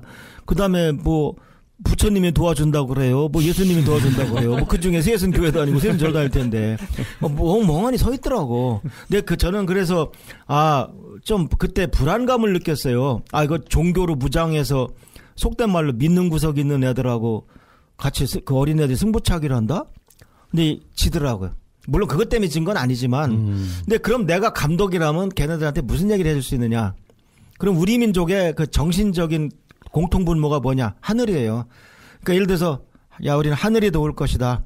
지금 우리가 종교는 제가 봤을 때 앞으로 한 50년은 국교가 안 나올 거예요. 왜냐하면 아, 종교가 황금분할돼 있는데 뭐 그러니까 A라는 종교가 어, 국교가 되려고 하면 B라는 종교가 가만히 있겠어요? 난 우리나라는 어려울 거라고 아유, 봐요. 그러면 예, 사상과 종교 중에 국교가 없으면 사상 중에 우리가 그 우리나라 대표 그 국혼을 찾아야죠. 어차피 종교에서 못 찾으니까. 그 그것이 나는 바로 개천 정신이라 이겁니다. 그래서 제가 개천 혁명에 그 거기에서 우리가 저 우리 역사를 공부해서 어? 개천을 이해하고 우리 사상을 공부해서 천손님을 인지한다 그 말을 넣은 이유가 그 천선 문화가 바로 내 이놈 하늘이 무섭지 않느냐. 아, 하늘이 도왔어요. 이게 천선 문화예요. 이건 종교가 아닙니다, 이게. 그래서 저는 제일 참 제가 옛날에 미국에서 유학할 때 조교라는데 제 이해가 이해를 많이 드네요. 그 이러한 학생이 와서 걔- 그 친구가 참 나를 따랐는데 어, 한국 사람의 공통 정신이 뭐냐고 물어보는 거예요. 어, common spirit이 뭐냐. 아, 내가 대답을 못했습니다. 그 순간적으로 어 우리 많은데? 삼일 정신, 새마을 정신, 충무 정신, 화랑 정신. 네. 아, 많다는 건 없다는 거구나. 그, 저는 그렇게 느꼈어요. 그 내가 이란은 어떤 데 하고 물어봤어요, 먼저. 대답을 못 하고. 그러니까 우리는 일단 페르시아의 영광, 그걸 되살리자 하는 젊은 애들이 많대요. 어, 그 나라 애들은 뭐 아마 술은 못 먹을 거예요. 그런데 어쨌든 그 얘기가 나오면 애들이 좀 울고불고 난리 난대. 그 다음에 이제 국교도 있죠. 어, 그 다음에, 그다음, 그, 그, 제가 보기에 그, 그쪽 중동 사람들 역사관은 이 십자군 전쟁이 단 것 같아요. 그러니까 백인들, 코카서스 인종과 중동인들 사이에 그 세계사를 놓고 쟁탈한 그것만 있지, 우리 동양 이쪽은 관심도 없는 것 같더라고. 근데 어쨌든 우리는 그런 게 있느냐. 뭐, 그러니까 어떻게 보면은 굉장히 지금 천박한 나라가 됐어요. 그냥 뭐 돈 많은 사람이 애들 말로 돈 많은 사람이 장땡인 나라가 됐어요. 어, 물론 자본주의 국가에서 돈 많은 사람을 흉봐서는 안 됩니다. 그 양반이 세금 많이 내니까 덕분에 웰, 뭐, 웰페어란다. 저 복지도 되고 다 되는 거죠. 예.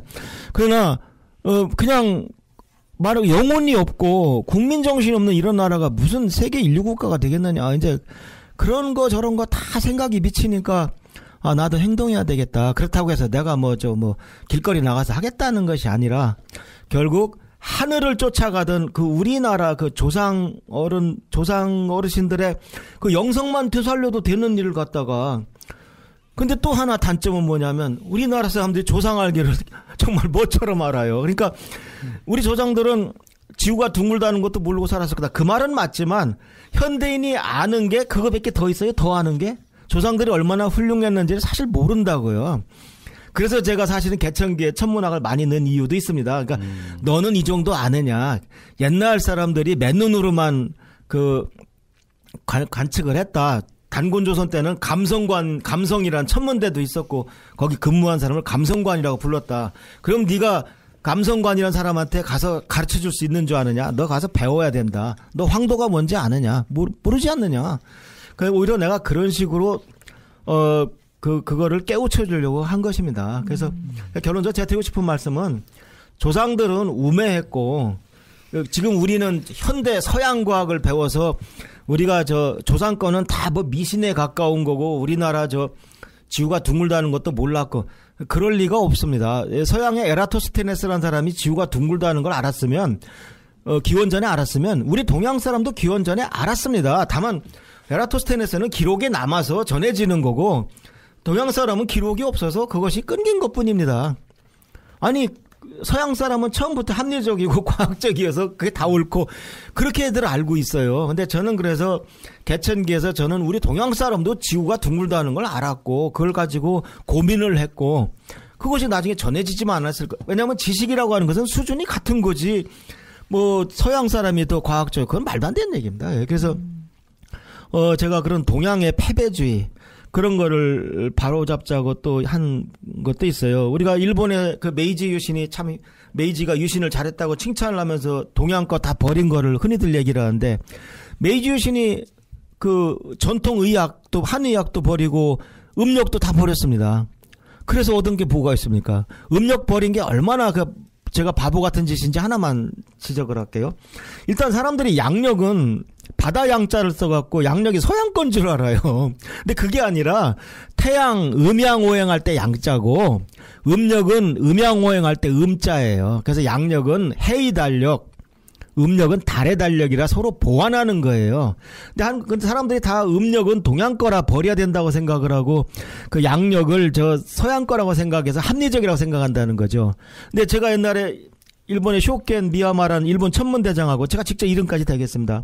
그 양반이 박상 하면서 나한테 뭐라고 얘기하냐면 자기는 참 견우직녀를 일본 거라고 주장하고 싶고 그 행사를 키우고 싶은데 음력을 안 쓰니까 칠석이 양력 7월 7일밖에 없다는 겁니다. 음. 양력 7월 7일은 장마철 한복판이에요, 일본도. 그렇죠. 자, 장마 전선이 그 네, 일본 열대 걸려 있을 때예요. 네. 근데 우리나라는 음력 7월 7일이기 때문에 항상 8월 휴가철에 아주 좋은 때 다 걸립니다. 음. 그래서 우리 대전에서 견우직녀 축제 하잖아요. 네. 그 제안한 사람이 접니다. 아 그러세요? 아, 모르셨습니까? 어, 책안 예, 보셨어요? 예. 책에 나와 있는데. 예, 그러니까 견우직녀 축제 와서 저 애인 만든 분들은 저한테 네. 감사해야 됩니다. 저딱 예. 한번 가봤습니다. 어, 예, 근데 견- 견우직녀 축제. 예, 그 아. 항상 날짜가 만드셨. 다리 8월 건너야 휴가철에 휴가철에 걸리니까 네. 얼마나 좋아요. 남자 세 명이 갔어요. 예, 저는 저 우리 저 우리 아내 생일 잊어버렸다가 저 혼쭐 나면은 아이 저 음력 있잖아 음력 해가지고 항상 그, 음력 있죠. 예, 음력이 나중에 저 대체로 오니까 그래서 네. 그걸로 만회하고 합니다. 그래서 그 하나가 그, 그 백업 해주는 책력이 있다는 것은 굉장히 중요한 거예요. 어. 예, 그러니까 그 상호 그걸 보완이 예. 되겠네요. 근데 우리는 얼마나 어리석었습니까? 한때 일본이 그거 한 거 보고 그걸 흉내내서 음력을 없애려고 얼마나 노력을 했어요. 세상에 설날 근무를 했어요. 근데 근무하다가 이건 너무 심하다 싶으니까 하루 쉬었어요, 처음에는. 아. 민속의 날이라는 이름으로 음력설을 하루를 쉬었습니다. 아, 그랬다가 나중에 한참 뒤에 그러니까 3일씩 쉰 게 얼마 안 됩니다, 지금. 아, 예, 네. 맞습니다. 그렇죠. 예. 예. 그래서 한때. 음력설에 근무한 이유가 아, 이게 조상님들한테 차례 지내고 그, 그, 그 중요한 것을 다 못하게 한 것을 그게 그 당시 우리나라 수준이, 아, 그 공무원들 욕하실 거 없습니다. 그분들은 그게 올, 당시는 그때 그 옳았다고 생각한 거죠. 그, 그때 우리나라 수준이 일본의 메이지 유신 수준이었던 겁니다. 그래서 이제는 그나마, 근데 우리 국민들이 저항을 한 거죠. 끝까지 저항을 하니까 에, 못 없애고 결국 정치인들은 표 따라가니까 이제 대통령 중에 저 이름은 안 되겠습니다만 어떤 분이 이제 드디어 3일 연휴로 추석이랑 만들어서 졸지의 공휴일이 갑자기 6일이 늘어난 적이 있었던 것이죠. 네. 아. 그런 역사가 불과 20년 20년 전 저희도 경험 느꼈던 것 같은데 언제인지 예. 정확하게 기억이 안 나진 않지만 90, 90 년대까지 그러지 않았나요? 얼마 안 돼요. 얼마 안 되죠. 예. 에, 그 뭐지 음력설을 갖다 복원시키자마자 국민들 대다수가 다 음력설로 확 다시 제자리에 돌아갔죠. 그렇죠. 일부만이 네. 이제 그 계속 양력 고집하고 일제 강점기 때도 일본 사람들이 이 조센징들 무식해서 어, 설 지낸다고 얼마나 우리를 못 살게 그랬습니까? 그래서 음. 그랬는데 그러니까 설을 없애려고 어 일제 강점기 때나 그다음에 잘못 오해했던 우리 그 공무원들에 의해서 그 무, 적어도 얼 무려 100년 가까이 시달린 거죠. 왜냐하면 독립된 지 70년 됐으니까. 음, 그렇죠. 예, 그랬는데도 그, 그 조상을 그, 그 모셔 모시고 그런 정신이 투철한 우리 민족이 그걸 결국 끝까지 지켜냈던 겁니다. 그 정말 그건 감동적인 일입니다. 사실 뭐 개천절도 음력 10월 3일로 세야 되는데 네. 지금은 양력으로 10월 3일을 기념하고 있잖아요. 그래서 그런 부분도 어떻게 보면 서양 사대주의다 이렇게 또 말씀하셨더라고요. 아, 그게 그러니까 해방 후에 네. 이제 음력을 이제 없애려고 음. 이제 막 그때 할때 음. 제가 한번 조사해 봤어요. 그, 그 당시 국회에서 뭐 15분 만에 양력으로 결정됐다고 하더라고요. 음. 그러니까 아무도 그때 관심이 없었던 것이죠. 그렇죠. 그 우리가 빨리 뭔가 서양을 따라가야 그러니까 되겠다. 국- 이 일본을 극복하고 네. 뭔가 네. 쓰려고 하면은 서양을 쫓아야 된다는 아마 이제 네. 암암리에 그런 의식이 있었을 거예요. 그러니까 그걸 나쁘게 해석할 필요는 없어요. 왜냐하면 일본이 어떻게 이렇게 근대화돼서 우리를 식민 통치했을까? 아 메이지 유신 같은 게 있었구나. 그럼 우리는 늦었지만 우리도 그렇게 해야 되겠다. 뭐 이런 애국심에서 그렇게 한 거지. 그렇죠. 예, 그런데 다만 그때 이제 어떤 큰 국민의 선생님이 있어서 누가 이렇게 깨우쳐 주거나 이제 그랬으면 좋았는데 그 당시는 뭐 다 그런 수준이었다 이거죠. 예. 지금이라도 뭐 다시 한번 재고해 볼 만한 그런 문제들인 것 같습니다. 사실은 뭐 지금 양력 10월 3일 개천절만이라도 저 전국적인 그런 축제와 같이 이렇게 뭐 그렇게 된다면 얼마나 좋겠어요. 아, 제 얘기가 그 얘기입니다. 그러니까 네. 저는 제가 옛날에 어디 신문에 칼럼을 쓸 때, 인터넷 그 칼럼을 쓸 때, 어, 어, 제가 한번 오해받은 적이 있어요. 어떤 오해를 받은 적이 있냐면, 나라를 위해 지키는 그 국군의 날이 10월 1일이다. 참 신기하지 않냐. 그 다음에 우리 문화의 최고 자랑거리 한글날이 10월 9일이다. 아니, 어차피 개천절을 양력을 할 거면, 음. 이렇게 사, 이렇게 참 상서로운 날들이 9일 안에 이 9일이라는 게 또 하늘의 뜻 아닙니까? 그죠? 이에 몰려 있는데 그때가 또 날씨도 제일 좋아요, 우리나라가. 어차피 우리나라 축제 다 그때 몰려 있어요.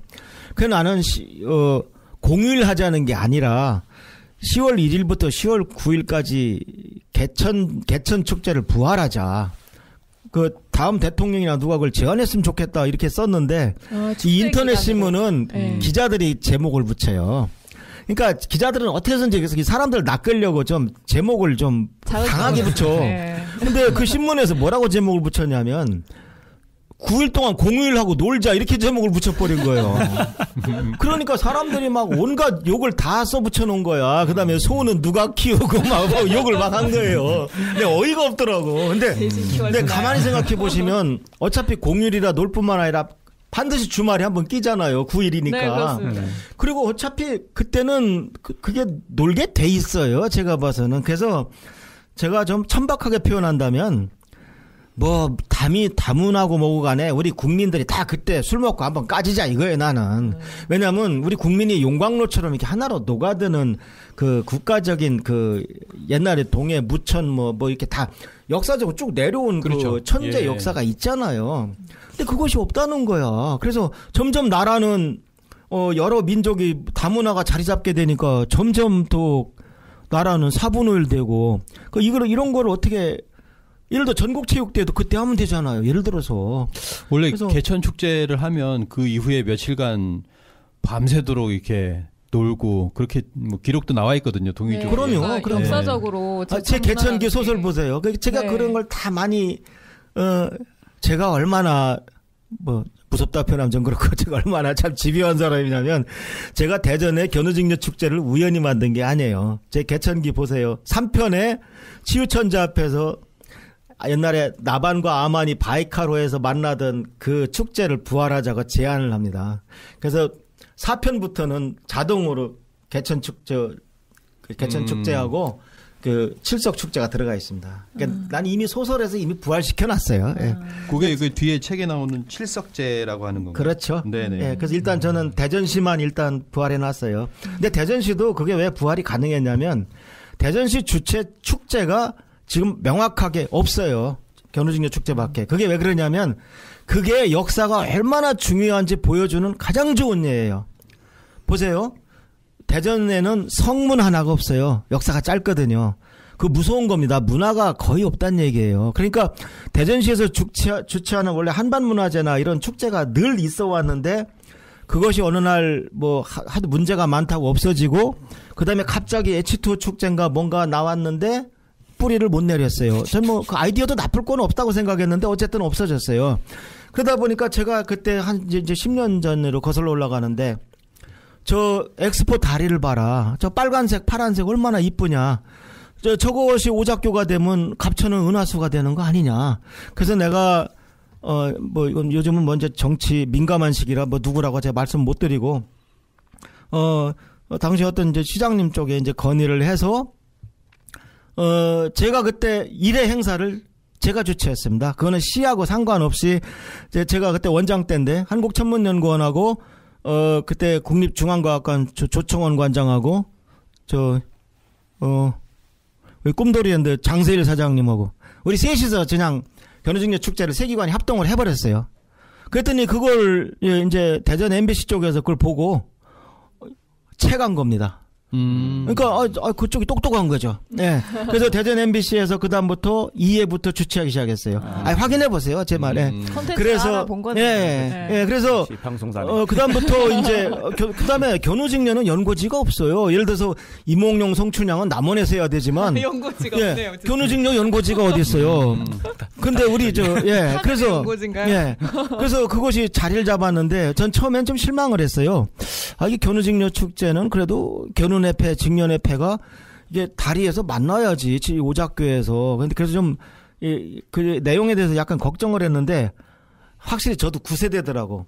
요즘 젊은 세대들한테는 제 머릿속에는 없는 가면 무도회나 뭐 이런 기발한 그것들이 많더라고요.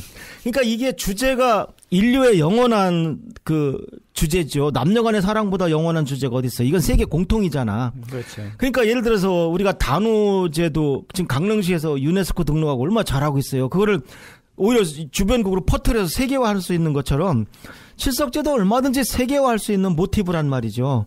근데 또 젊은 세대들이 그렇게 나름대로 또 진화해 나가더라고요. 그래서 네.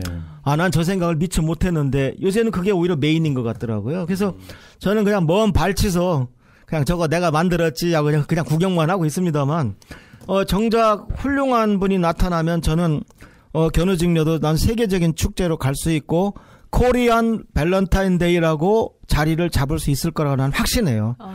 근데 이미 중국에서는 얼- 얼마 전부터 음력 7월 7일을 Chinese 밸런타인데이라고 이미 홍보를 하고 있어요. 아 진짜요? 이거 무서운 겁니다. 왜냐하면 음. 미국 가보세요. 미국 미국에는 설날을 갖다가 Chinese New Year라고 그래요. 중국 설날이라고 그래요. 음. 근데 이제 좀 있으면 칠석도 이제 Chinese 밸런타인데이가 될 것 같아요.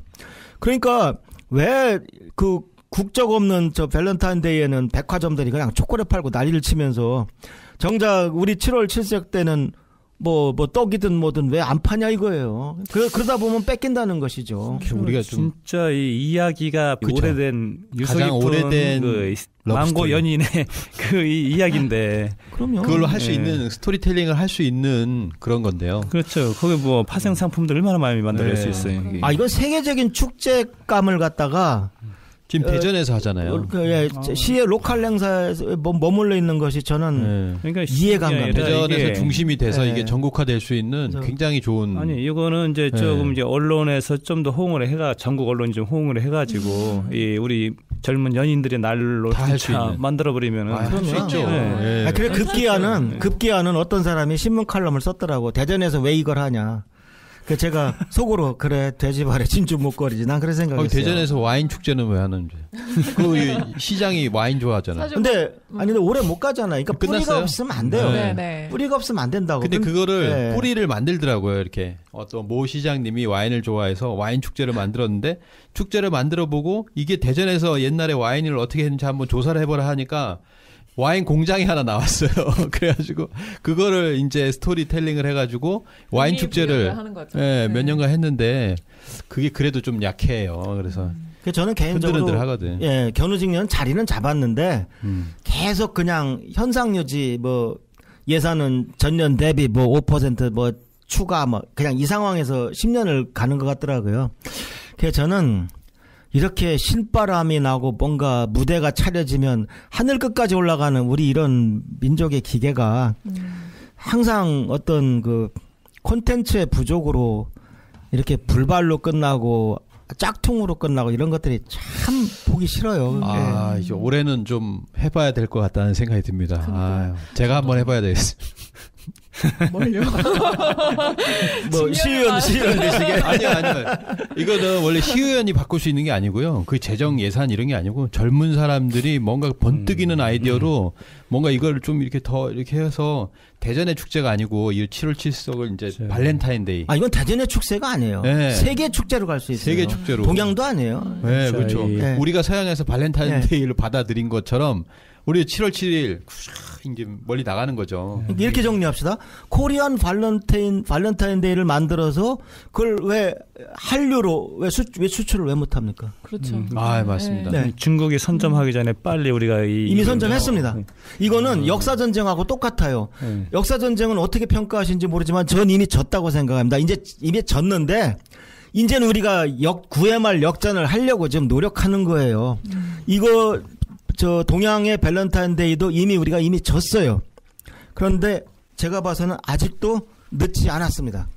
네. 네. 이야기가 예- 예상보다 완전히 저. 아 뭐 이게 개천연맹이에요. 어, 그러니까 예, 아, 그럼요. 개천의 이게 정신이고. 또 북두칠성 문화잖아요. 7월 7석이. 그러면 네. 그러니까 그 제가 이게- 칠성 부대 네. 나왔거든요. 여기 칠성 부대 책에 나와 있더라고. 제가 칠성 부대 나왔어. 어. 이번에 이제 하다 보면 이기자 부대는 없어지는데 칠성 부대. 칠성 부대는 남아요. 칠성 부대 뭐 특이한 거 있습니까? 칠성 부대 칠성 사이다 자판기 있습니다. 조금 아니, 좀 썰렁하시는데. 네. 황소부대 이런 데는 네. 충성 대신에 성실 이렇게 인사를 한다 하더라고요. 아 그래요. 그래서 뭐 네네네. 더 부대마다 달라요. 예. 아 제가 근무하던 부대는 멸공이었습니다. 예. 멸공. 멸공. 예. 어. 오- 오래되어가지고 까먹었네요. 칠성 그러진 않았던 것 같아요. 저도 83년에 제대했으니까 음, 아유 오래됐네요. 35년 됐네.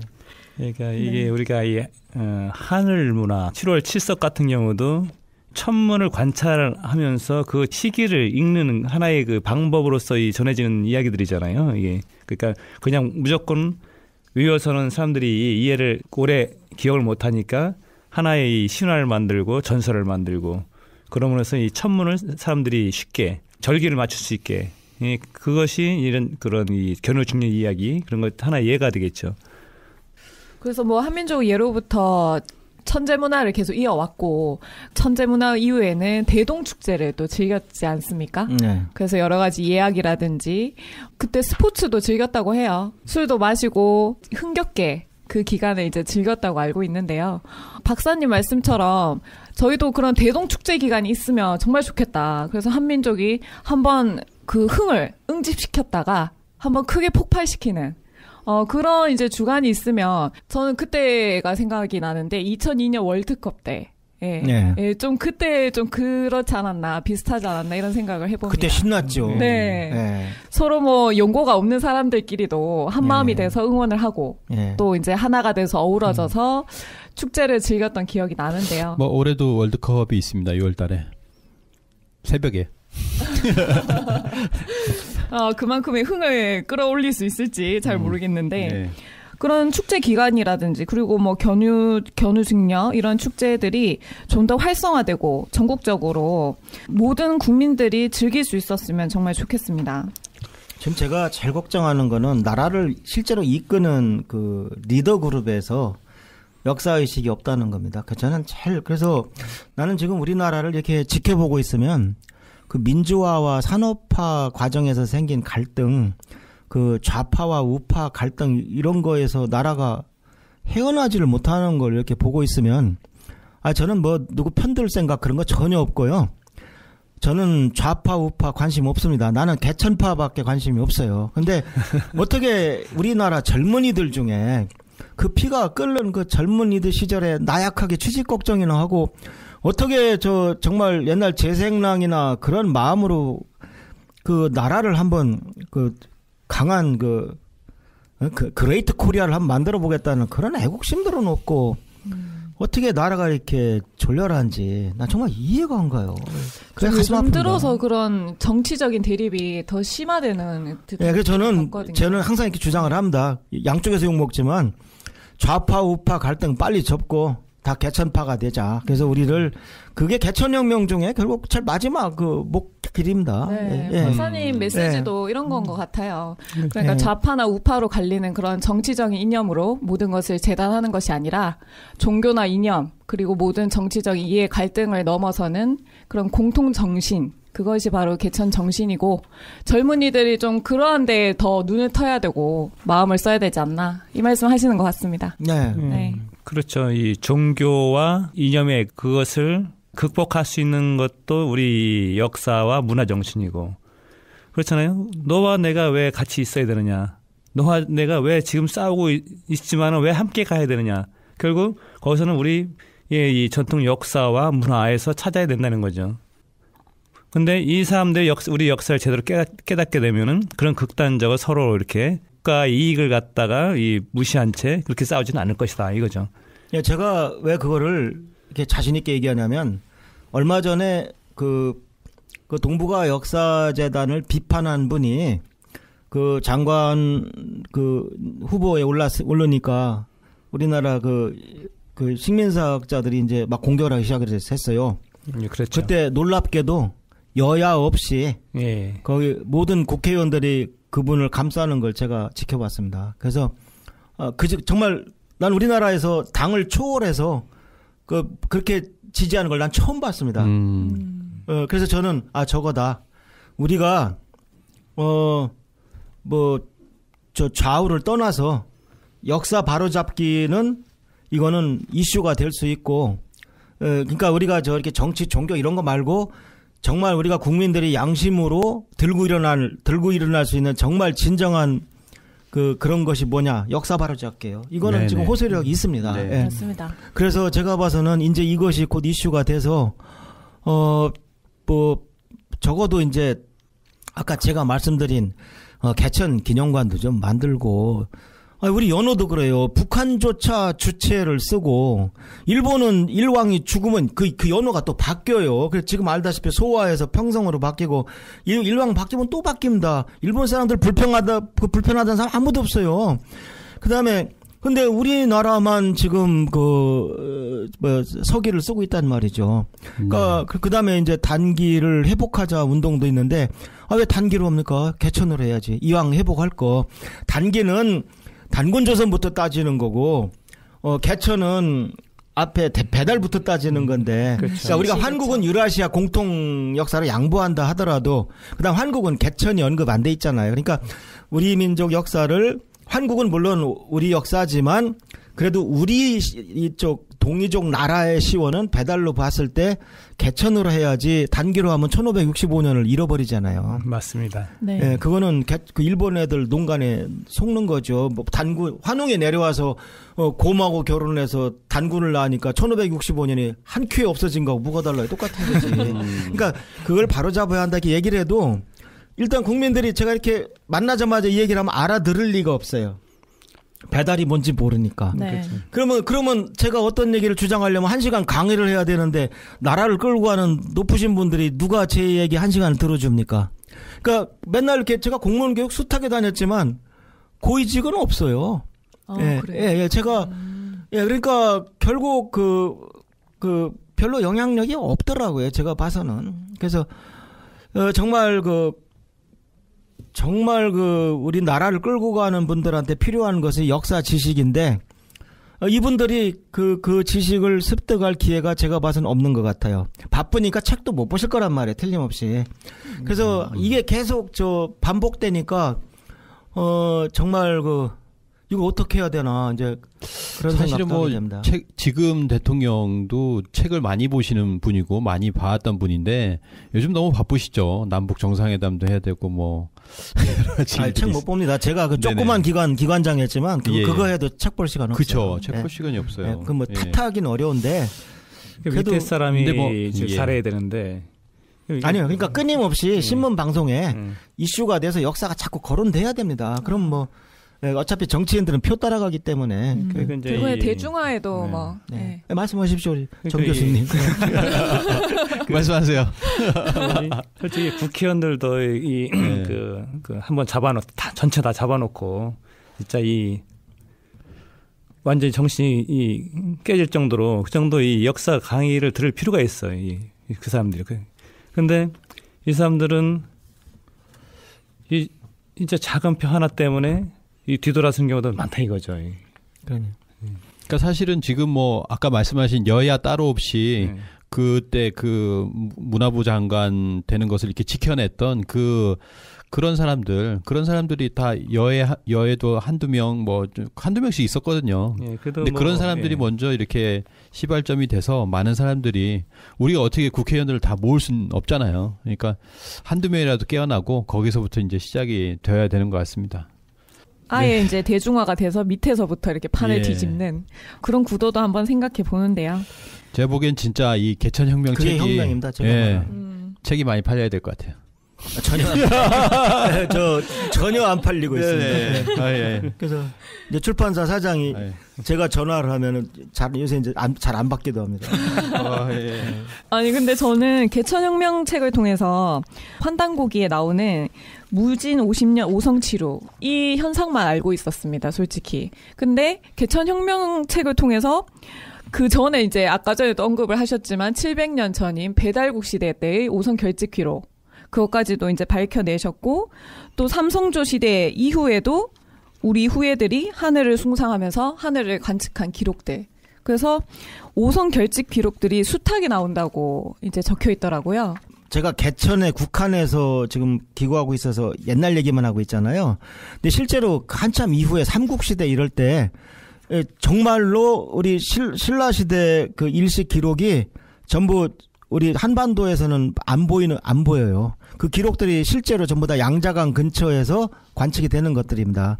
그러니까 이해를 못하는 사람들은 어, 아 이건 뭐 중국 거 베낀 거다 이렇게 말을 쉽게 하는데 어 그거는 천문학자에 대해 우리 선배 천문학자에 대한 엄청난 모, 모욕입니다. 음. 그러니까 어, 세계 어떤 나라 천문학자가 관측 기록을 남의 나라 걸 베낍니까?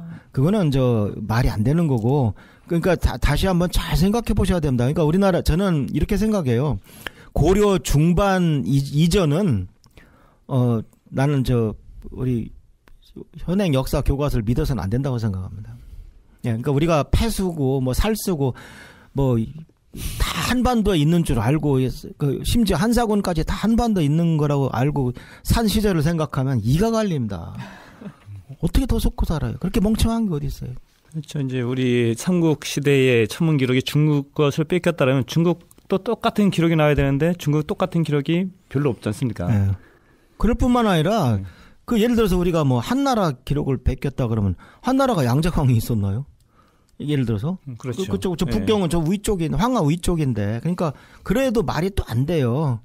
근데 최근에는 아 국민들이 똑똑합니다. 자꾸 이제 저는 그래서 최근에 잘 보세요. 저는 이 백- 북부여 이후를 강의한 적이 없어요. 저는 지금 오로지 왜냐하면 제가 안 해도 다른 사람들이 다 잘하고 있고 네. 예 저는 저는 제 특기가 남이 안 하는 거 하는 겁니다. 예, 그래서 아시다시피 저 천문학 전공한 것부터가 다 저는 이게 제 운명인 것 같아요. 이제 제가 또 남이 안 하는 건 잘합니다. 그래서 지금 또 옛날에는 참 어렵게 그, 그 환단고기가 과학적으로도 맞다 이 말 하기가 정말 어려웠고 그 당시는 동주자도 많지 않았어요. 그 강의도 하나둘 끊어져 나가고 뭐 그러더라고요. 근데 그래도 이게 제가 아까 말씀드렸죠. 그 거대한 얼음 덩어리가 조금씩 조금씩 녹고 있어요.